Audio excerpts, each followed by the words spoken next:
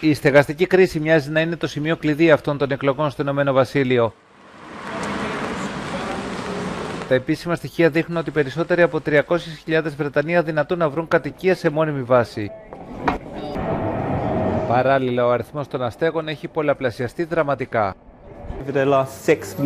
Το τελευταίο εξάμεινο έχουμε δει μια αύξηση από 40 έως 50% ανθρώπων που έρχονται σε εμάς για βοήθεια. Είναι μεγάλο ποσοστό και βλέπουμε διαρκώς μεγαλύτερες ηλικίες. Άνθρωποι στα 60, στα 70 και στα 80 τους είναι αντιμέτωποι με ανασφάλεια κατοικίας. Δεν έχουν που να μείνουν και ψάχνουν για έναν καναπέ. Η στεγαστική κρίση συνεπάρχει με τον πληθωρισμό και το αυξημένο καθημερινό κόστος ζωής με τα τρόφιμα, τις τιμές του ηλεκτρικού και εν γέννη της ενέργειας. Οι μισθοί μόλις ξεκίνησαν να ανεβαίνουν, αλλά ήδη πριν από αυτούς είχαν πάρει την ανηφόρα δάνεια και υποθήκες με αποτέλεσμα να στενεύουν τα όρια για τους δανειολήπτες.